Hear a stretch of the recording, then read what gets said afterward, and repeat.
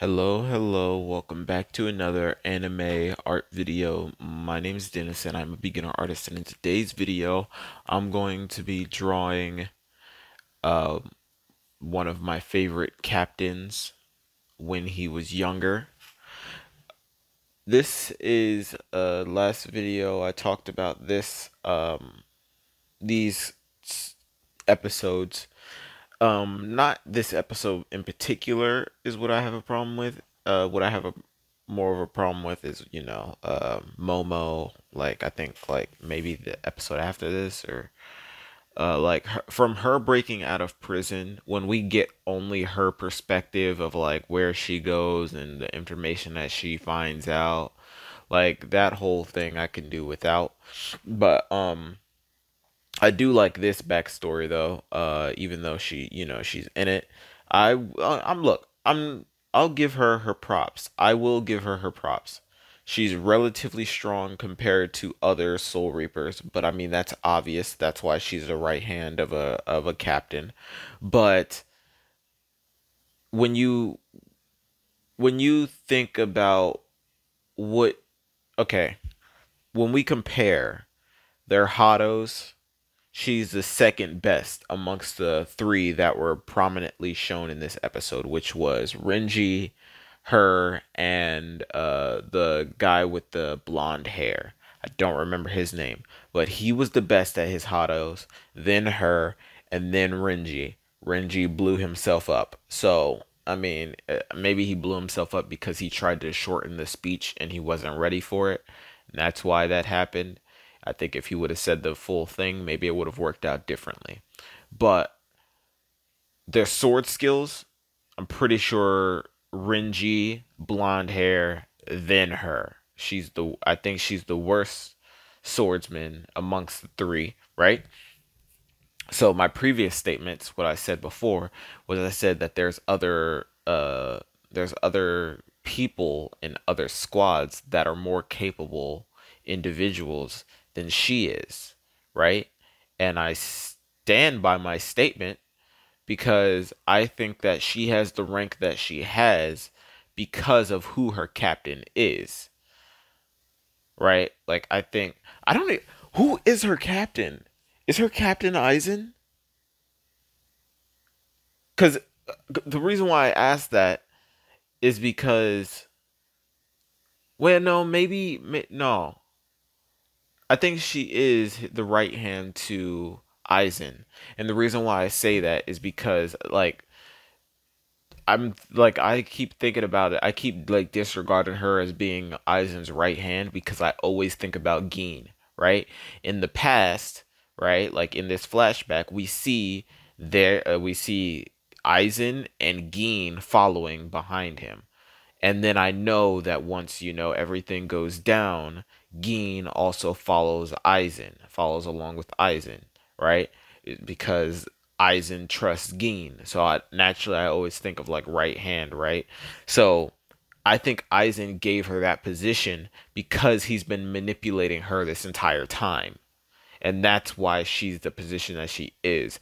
Otherwise, there's other people in other squads that can fill that position with ease, right? Like if you're not in the healing squad, you're not in the battle squad, you're not in a specific uh, squad to do something specific, you can have another individual that can take that spot. So like um Aizen's squad, I don't think they do anything specific that would require her directly, right? Like if you are healing in the healing squad, it, you can only have another person that can heal be your right hand, right? Like that's the like that's the point. You have to be able to do this one thing in order to qualify for this one squad.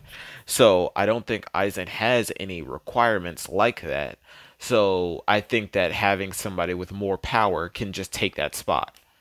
Right? Like if we took um if we took her and put her up against the bald dude in uh in you know um Kenpachi's squad, bald dude wins. No questions asked, right? Renji wins. I mean, but Renji is a right hand, so obviously. Uh, but if you think about like people that aren't right hands, and we think of like like let's say the third seats of each squad, like there's a few third seats of each squads that I can see that can beat her, you know. So like, why wouldn't we put any of those guys in the in the never never mind. I, I take back I take back that statement. And the reason why I take it back is not to up her as a fighter, it's to downplay her mind. She's easily manipulated by this one person.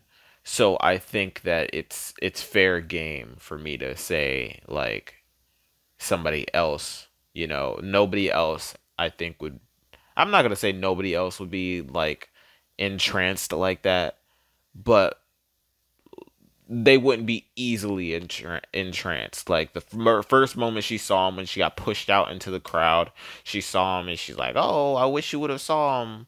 Uh, like, you know, you're telling the future captain, "Hey, this other captain is dope," right? And then um, he comes to save you, and all he does is fight one hollow, but Gin fights like five or six, right? Gin one shots five or six of them, and then Aizen destroys one, and then looks back at you, and you're like, "Oh my god, I worship this man," right? Like it's you know.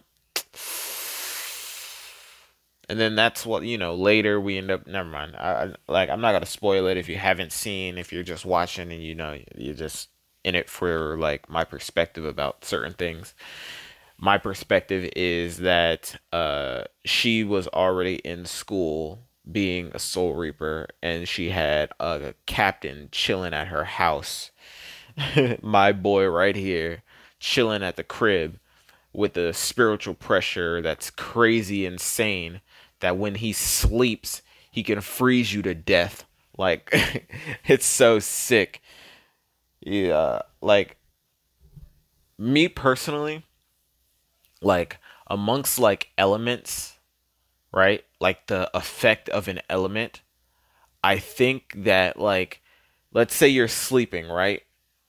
And somebody like let's say like every breath, right? Like for each breath that you take, like your aura like emits, right? So let's say you breathe in and on the exhale, right? it like like flows out but that would only happen with like fire so like you breathe in you inhale and then on the exhale like fire like will emit out for ice it would be the opposite on the inhale on the inhale the more air you take into your body the more ice corrodes things around you right? So like you breathe in and like imagine like the airflow going in and then like ice starts crackling on the floor pushing away from your body. And then you exhale right? And then the next breath and then it goes out further. Like that's what i imagine it's like for him when he sleeps like when he's like you know um when he's not aware of what's going on and then like his ice just like starts corroding things. So sick. But uh yeah let's get into this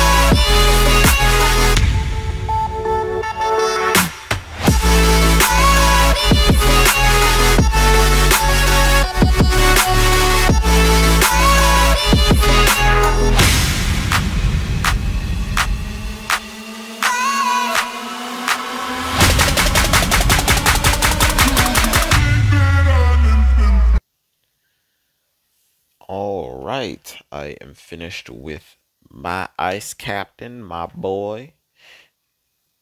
I can't wait. I think it might be in the next episode or the episode after that where we see um, him um, and him sleeping and I, you know, freezing things over, or I mean, like his spiritual pressure, like whatever, right?